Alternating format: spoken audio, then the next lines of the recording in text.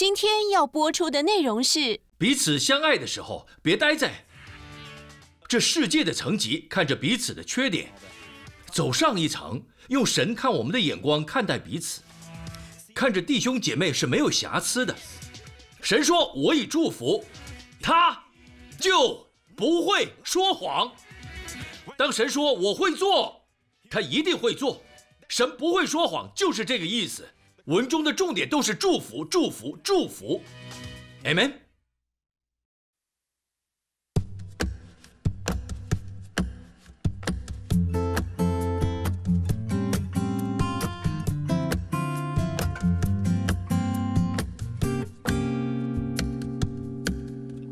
主耶稣，我今后在你跟前，我深思作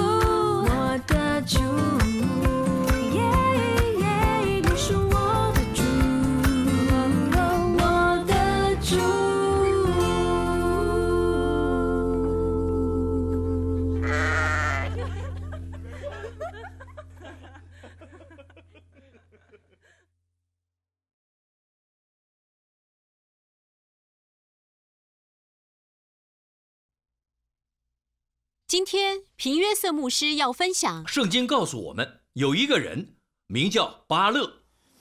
好，巴勒是摩押王，在今天大约是约旦的区域，约旦国。巴勒很怕以色列百姓，但根本不需要。当时以色列人刚刚离开埃及，神带他们出来走了远路，那是因为神不想让他们灰心，因为近路上很多敌人，神带他们走远路，经过约旦。有很多人，你们去过以色列，经过约旦，然后渡过约旦河，就会进入应许之地，对吗？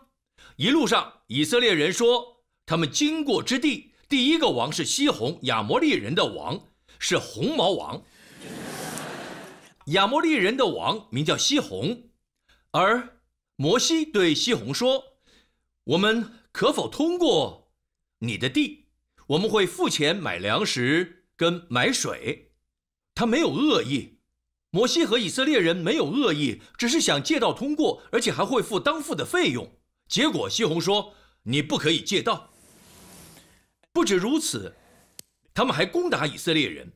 但是别忘了，以色列人看起来可能很脆弱，但看顾他们的那位可不是。阿门。神打败了西红。亚摩利人的王，他们继续走，遇到另一个王，这个王就是巴山王，欧基厄。他在做王之前经营的是超级市场的生意。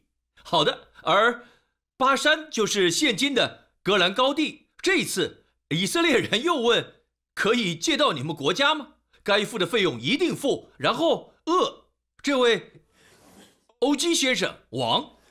巴山王说：“才不可能，好吗？”又攻打他们，但是以色列从来就不想打仗，只是想借道经过，付该付的钱就好。但每个人都宣战，神使他们都得胜。西红王还有恶都败给了以色列。现在以色列人到了摩崖地，准备经过，而摩崖王真是愚蠢。其实让他们过去就好。他们并没有要占据你的地，而是要进入应许之地。只要几天时间，他们就到了。看看他怎么说。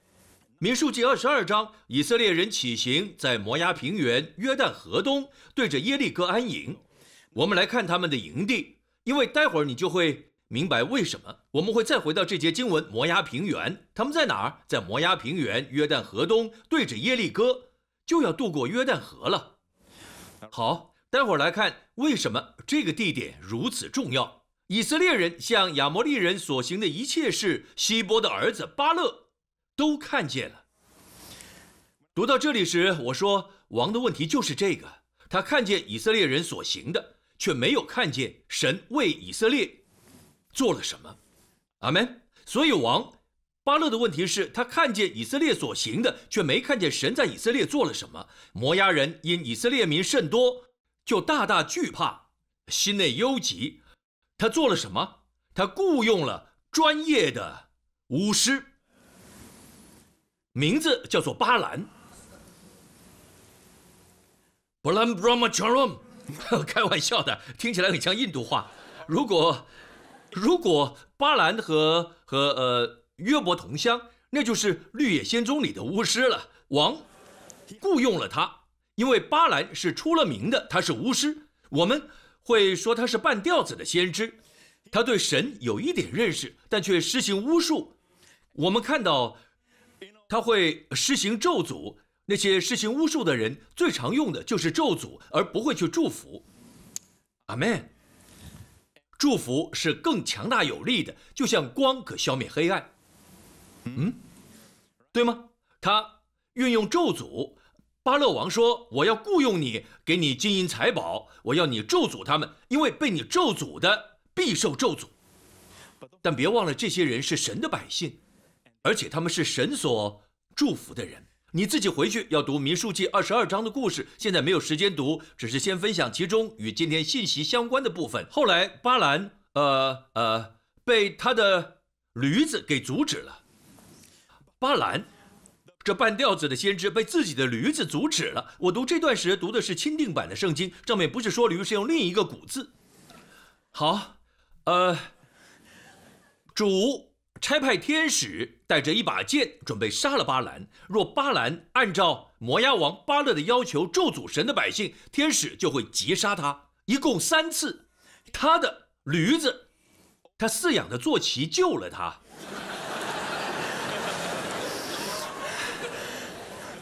我们很多人想要救自己的动物，但这里是动物反过来救了他。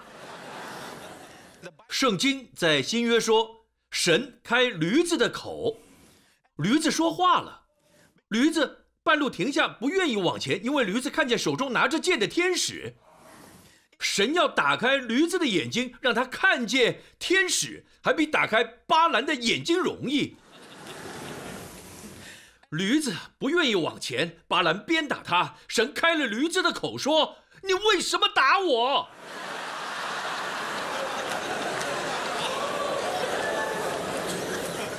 我这几年服侍你还不够吗？要小心了，也许就在最近，你的狗可能就开口说话。你以为当你的狗很简单呐？要喝马桶的水。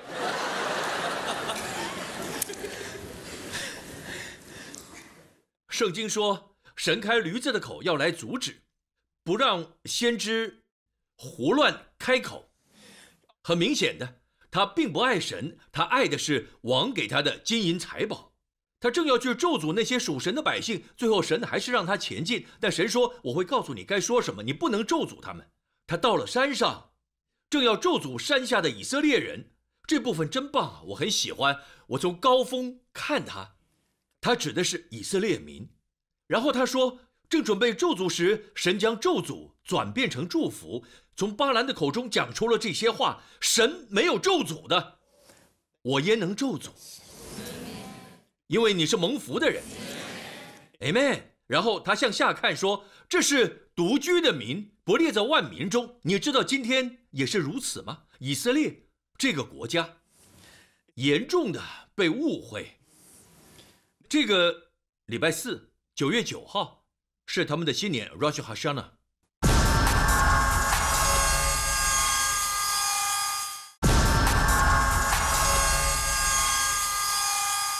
以色列这个国家严重的被误会。这个礼拜四，九月九号是他们的新年 Rosh Hashanah。身为一个国家，就算离开自己的土地，想要呃想要呃融入其他的国家，总是会有事发生，可能受到逼迫，就是无法融入其中。但我要告诉你。这些人，这些犹太人虽然是少数，但许多发明、许多科学上的突破、许多呃美好的音乐、许多美丽且充满创意的点子，都是从这少数的民族产生出来的。因为神祝福了他们。没错，他们眼睛暂时瞎了，看不见耶稣。有一天，他们天上的约瑟会回来，对地上的兄弟说：“我就是被你们卖的那位。”他们的眼睛就会打开。唯一不同的是，约瑟去找兄弟们的时候，并不知道会被卖。过来，我们会把你卖了，真的就被卖了。然而，耶稣来到世上时就知道了，约瑟并不知道，但耶稣知道他会被羞辱、被鞭打、被拔胡子，会被被重击，会被钉死，但还是来了，因为他爱你。他爱我，Amen。有一天，神与以色列之间的爱，我们会看见全貌，因为神应许了两个种子，特定的种子。好，神应许亚伯拉罕，我会叫你的后裔倍增，如同天上的星一样多。那就是我们属灵的以色列，我们就像星星一样，天上的星星。后裔如同海边的沙，指的是自然的以色列。透过亚伯拉罕的两个种子。生出唯一的基督，为这世界带下各样祝福，Amen。不论神的百姓到哪儿，女性受到尊重，男性风范诞生，学校也建立起来，一切都会使人类，呃，更好、更进步。只要有神百姓的地方，但却有人批判我们，有些人。我们看不见，躲在石头后面说一些批评你的话，可能是你的同事，他们嫉妒你，只因为你信耶稣就不喜欢你，会怎么样呢？他们能否雇佣巫师来咒诅你？找巫师拿根东西往地上一敲，然后魔法保姆就会，你知道的。不该提到电影，真是抱歉，不应该讲到好电影。我女儿很喜欢那部电影的故事，这些所有的魔术，呃，这些所谓的巫师、术士能对抗神的百姓吗？来看发生什么事。当当巴勒发现他没有咒诅神的百姓，反而祝福了他们，说神没有咒诅的，我焉能咒诅？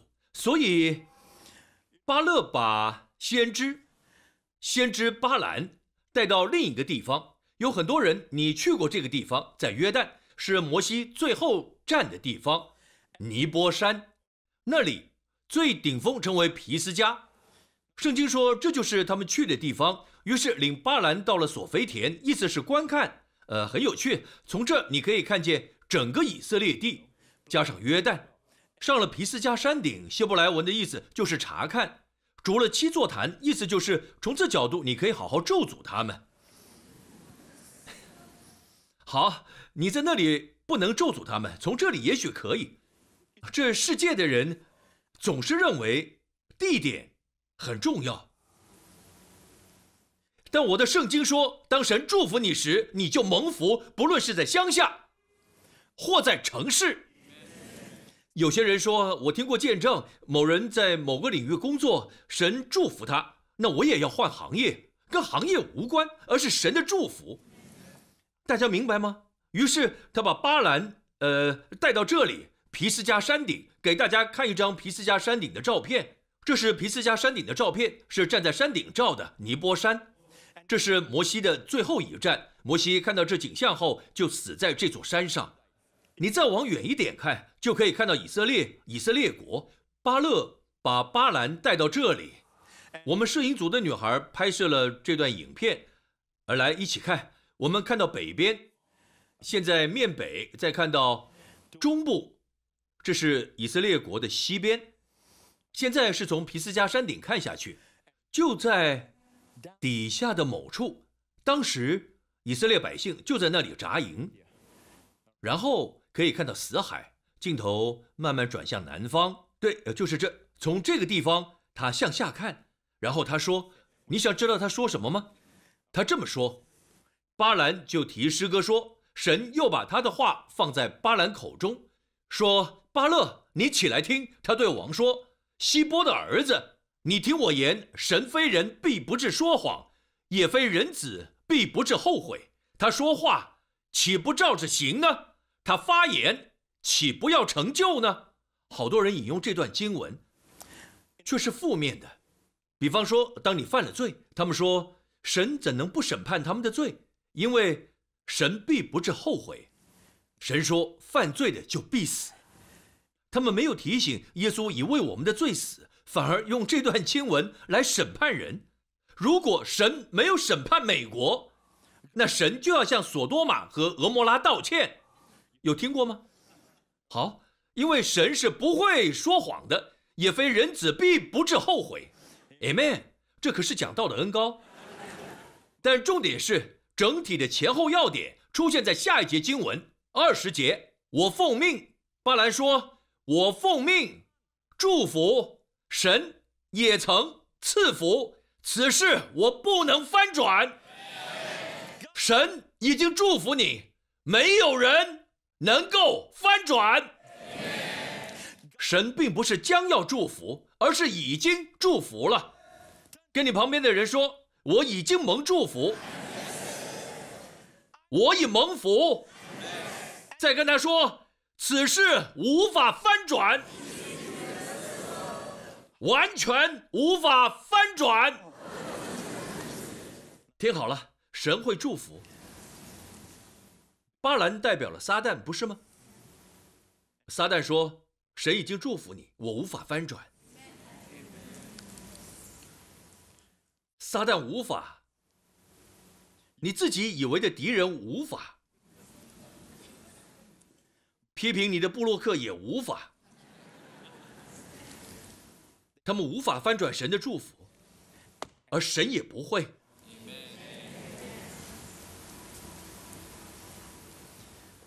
你的祝福无法翻转。谁要你接受耶稣呢？说我是蒙福的，无人能够翻转。现在来讲讲那些批评你的人，这能够大大的帮助你，好吗？这方面我是专家。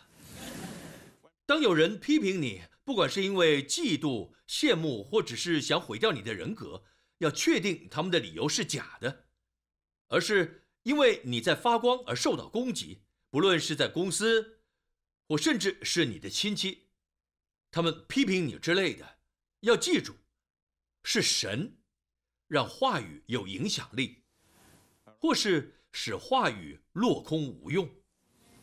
圣经说，当神兴起先知萨摩尔时，神让他说的每一句话都没落空。几年前，我也如此为我的事工祷告，求神让我的话都不会落空，不管人写了什么，说了什么，除非神恩高了，除非神赐恩惠，你可以写千万字，对读者都没有影响力。读者当下可能有所感受，但不会持久。但是当神恩高了，就算只是几个字，都会持久。你一辈子都会记得，你会记得，在你需要帮助时就会想起。Amen。各位，重点不是一直说，而是到底有没有分量？神有没有给你分量？不是重量，神会给你的话语分量。大家同意吗？好的，大家了解吗？好，这真的很棒。像我说的，我们的问题是，是我们。我们不会去形容祝福。很多人可能有呃有五个孩子都送上床了，然后说我祝福你，祝福你，祝福你，祝福你，还有祝福你。好，晚安。孩子根本不明白你说的祝福到底是什么。你应该跟孩子说，你是很聪明的孩子，你常常逗爸爸妈妈开心，你拥有神的喜乐，你会使他人也喜乐。因为你有神的喜乐，你没有说出祝福两个字，但你已经祝福了你的孩子。大家了解吗？Amen。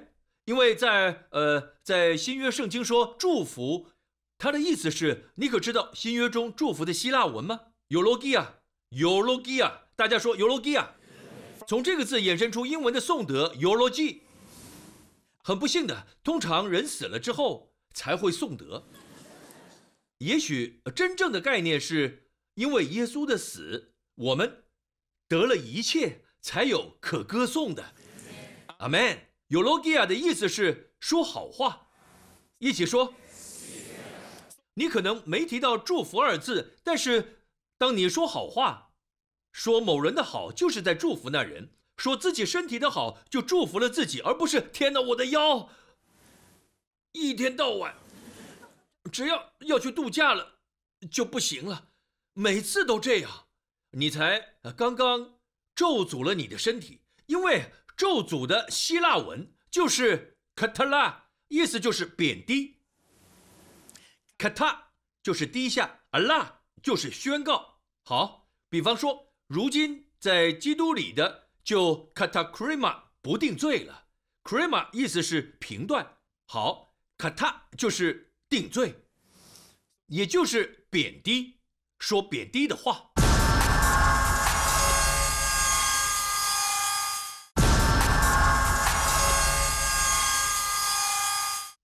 还记得耶稣到了一棵无花果树下，他已经饿了。圣经说他来到无花果树，其实耶稣知道自己将会做什么。耶稣看着无花果树，看起来能结果子，但却一颗果子也没有。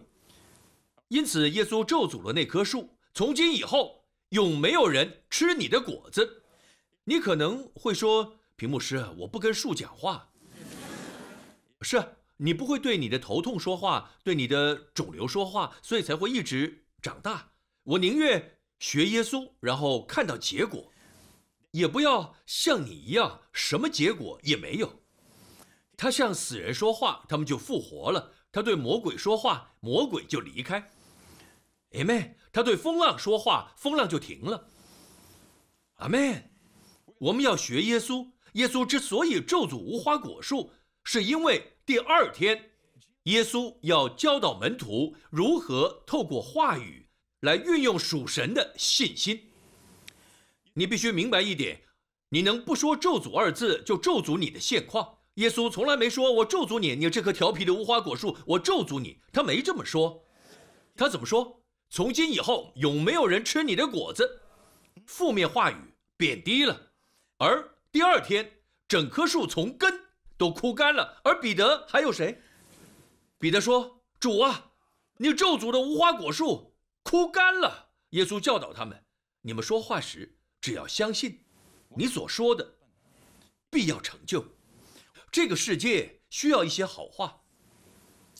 我才不会称赞我的丈夫啊，不然他会骄傲。真的，屏幕师，相信我，他的老板会叫他谦卑，他的工作会使他谦卑，在回来见你的路上，他已经谦卑了。相信我，各位，人生中已经太多负面的事了，人需要的是一些好话，说些好话。大家明白吗？好的，各位，这是祝福。然后他继续说，他未见雅各中有罪孽。也未见以色列中有奸恶，多么美好的一句话！嘿，各位，注意到前面的十九节，神是不会说谎的。前后文就是神说：“我已祝福他，就不会说谎。”当神说我会做，他一定会做。神不会说谎，就是这个意思。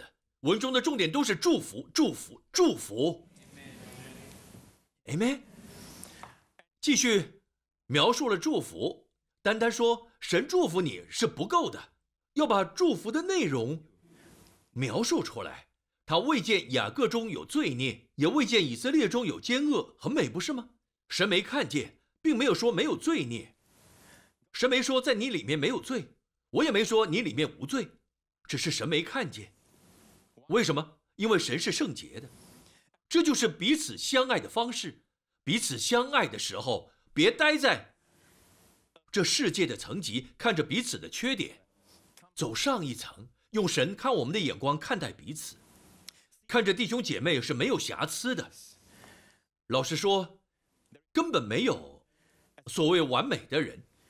屏幕师，我要离开这间教会，因为这间教会不完美。赞美主，你终于明白了，结果就要离开。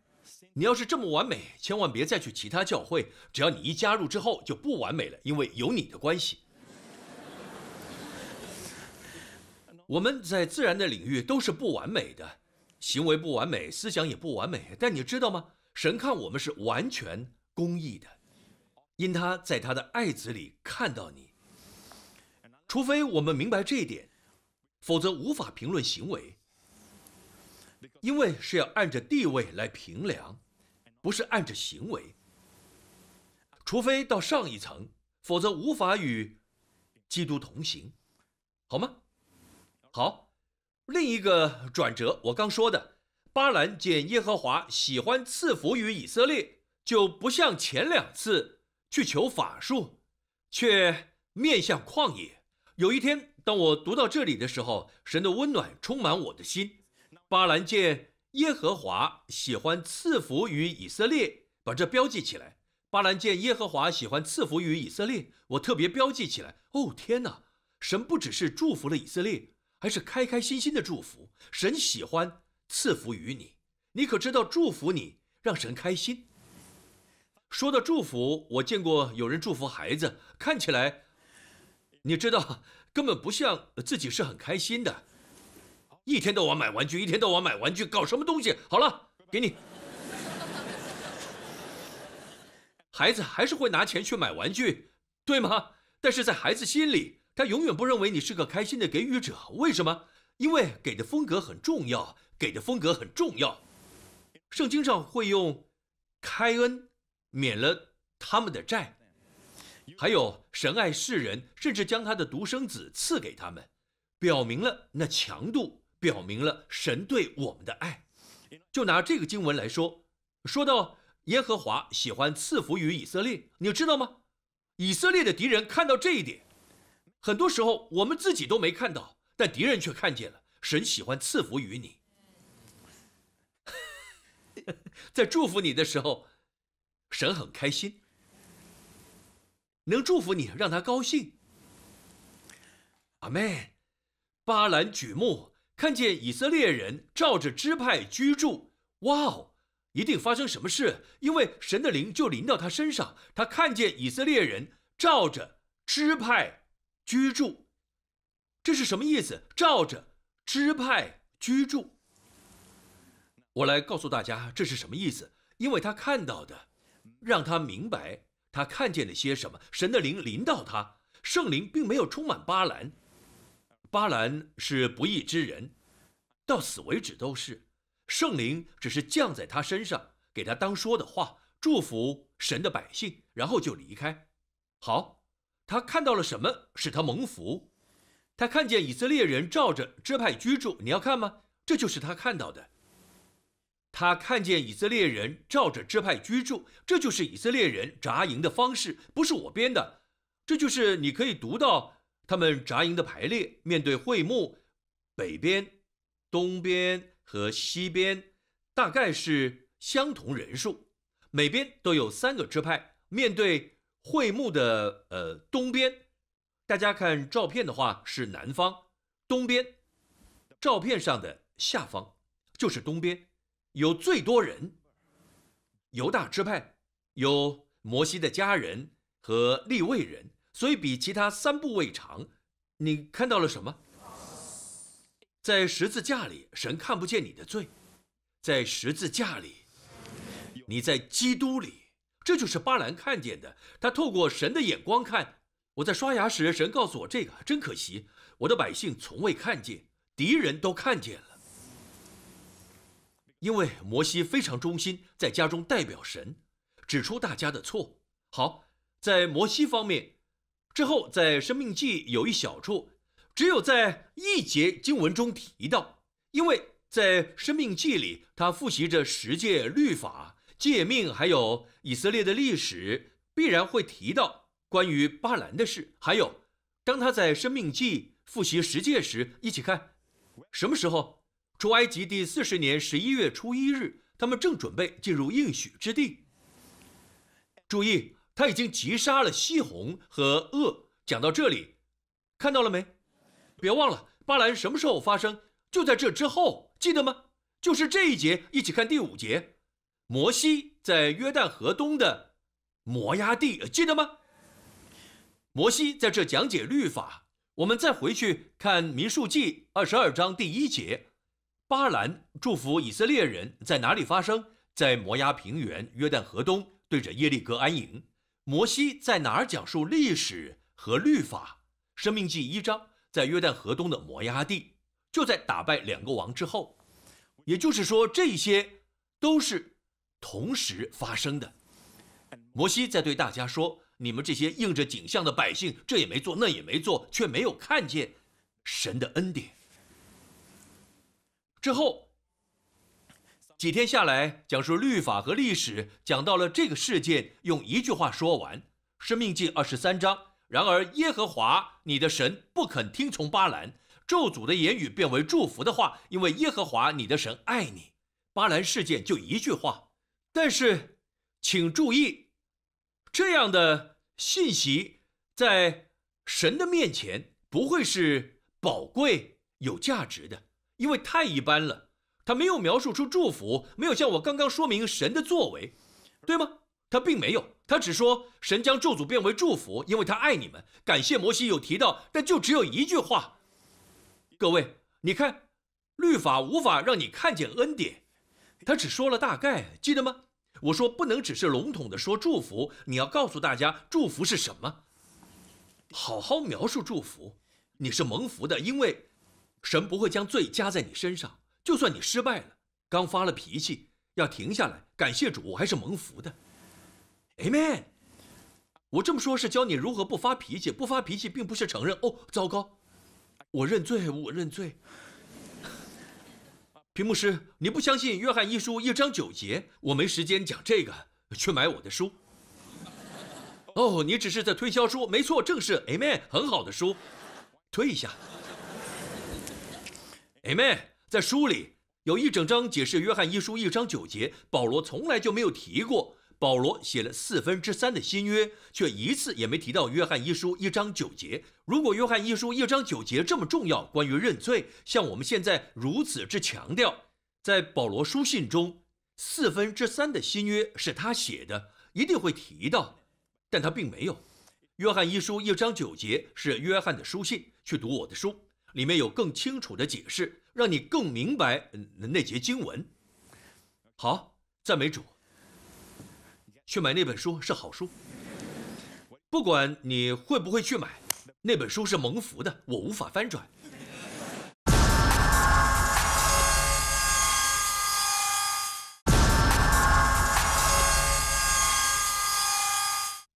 在保罗书信中，四分之三的新约是他写的，一定会提到，但他并没有。约翰一书一章九节是约翰的书信，去读我的书，里面有更清楚的解释。让你更明白那节经文。好，赞美主。去买那本书是好书，不管你会不会去买，那本书是蒙福的，我无法翻转。世界各地的人都在买那本书，Amen。而且我知道已经有很多牧师传道都受到祝福。一起看，我要用这个做结束。咒诅一词原文是 kalala。变为 baraka 祝福 baraka，这些都是希伯来文，不再是新约希腊文 eulogia 或是 katala，也就是咒诅。我要以这个作为结束，你将大大蒙福。准备好了吗？希望你有万全准备，不然这祝福会太多。各位准备好了吗？准备好了吗？很好。咒诅原文是 kalala，希伯来文，而祝福的原文是巴拉卡。好。仔细看，我要结束了。看希伯来文 “braka”，祝福 “brak”。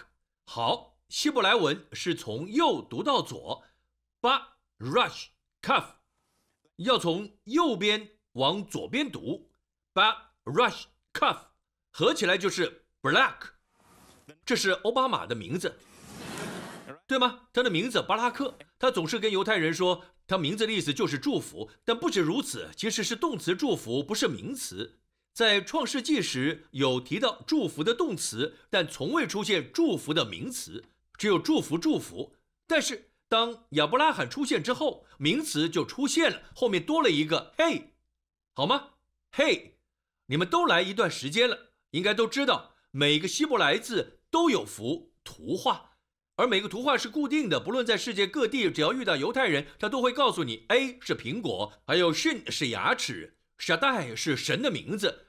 Cuff 是张开的手，都有图画。他们会说：“Hey 是恩典，或是窗户。”他们不知道恩典，他们会说窗户，呃，是某个东西。我们知道是恩典。HE 代表数字是五，Hey 是数字五。一起看，从右读到左。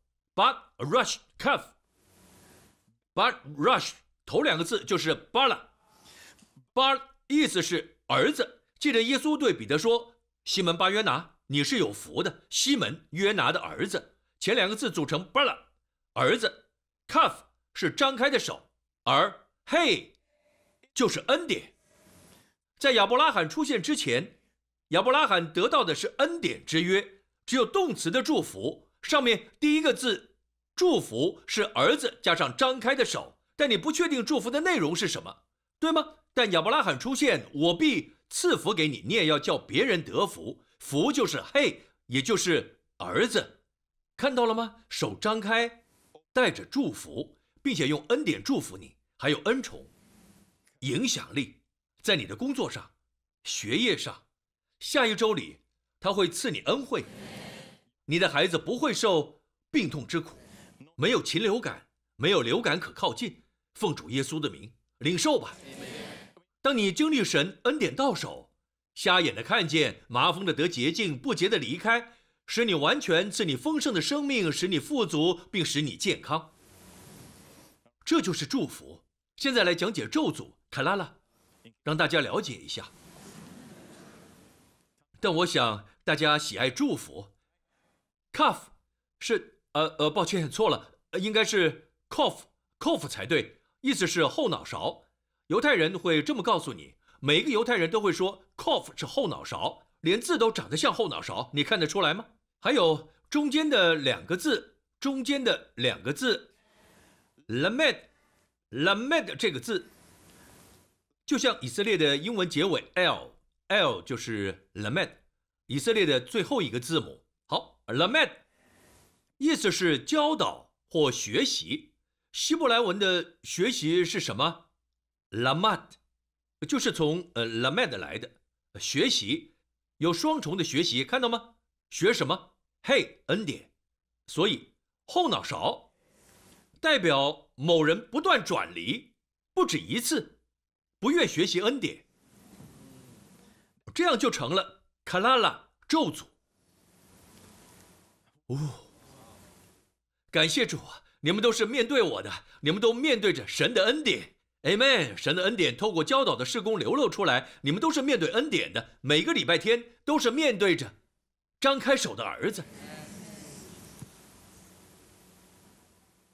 哈利路亚！最后用这节经文结束《加拉太书》三章。各位弟兄姐妹，千万不要转离神，不要转离不学习恩典。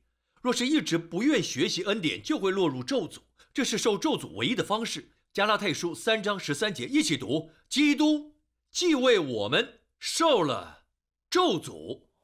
再读十四节，这便叫亚伯拉罕的福，因基督耶稣可以临到外邦人。咒诅是什么？克拉拉，这意义就是你从所有邪恶话语中被拯救出来。幼稚园老师曾说过的，小学老师曾说过的。做老师的应当说好话，特别是对那些需要鼓励的孩子。感谢主，我们有全新的一个世代，无论是亲戚、朋友、父母，都该是说好话的。但是有些孩子被冠上个呃不好的绰号，在学校里，有些人你现在十五、十六岁，你还记得以前同学给你的绰号，那就是话语的咒诅。感谢主，我要告诉各位，基督已将我们从。咒诅中拯救出来，神律法带来的所有咒诅，神的律法不能再咒诅你。为什么？已经付了，耶稣已付了，耶稣付的，耶稣救赎了我们，不再有咒诅，因为付清了，付清了。为什么救赎我们？好让祝福亚伯拉罕的祝福布拉卡，那祝福是什么？绝对是公义。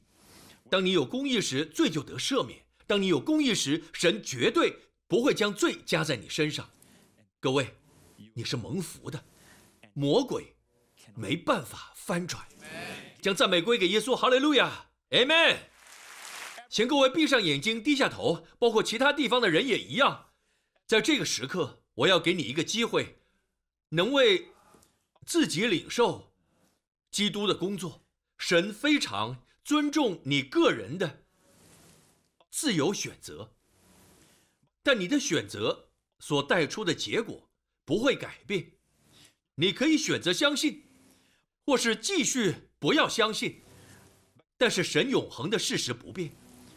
耶稣说：“若你相信他可以承担你的罪，神的审判便不会临到你，而他的恩惠、他的恩典会临到你。你不会过着受到。”咒诅的生活，而是蒙祝福的生活，在人生各方面因神的力量而成功。工作不能，婚姻不行，神的祝福才能改变一切。现在，领受罪的赦免，奉耶稣的名，跟我一起祷告，诚心的祷告。一起说：“亲爱的天父，我感谢你，你差派爱子耶稣基督为我的罪死在十字架上，他的宝血洗净了我一切的罪。我感谢你，在你眼中是真实的。你看我没有罪，是公义的，被接纳。”蒙祝福，感谢天父，谢谢你爱我，我也爱你。奉耶稣的名，我宣告，耶稣基督是我的主。你叫他从死里复活，他仍活着。他已经祝福我。没有人或事物能够翻转。奉耶稣的名祷告，所有的人举起手。不管你在哪儿，那位神叫巴兰祝福的神，现在正祝福你。有美好的一周。主以亚伯拉罕的福祝福你，你出你入都蒙福，你手所做的一切都蒙福。凡攻击你的器械必不兴起，你接触的一切都蒙福。你身体的果子蒙祝福，细胞也蒙福，散发出神复活的大能，充满了。属天的健康，如鹰必要年轻有力。那位神恢复摩西的年轻活力，使亚伯拉罕生育，也必要恢复你，使你重新得力，拥有极大的气力。愿主保护你，保守你与你的家人，你的班机。你的交通，不管这周你到哪儿，神都要保护你。孩子不会感染肠病毒、禽流感，主保守你和你的家人不遭危险、窃盗、强盗、暴力与所有黑暗权势。因你是耶稣保险买赎回来的，不再受咒诅，而是蒙祝福，神所祝福的。无人能翻转，奉耶稣的名祷告，大家一起说，Amen，赞美归给耶稣，哈利路亚。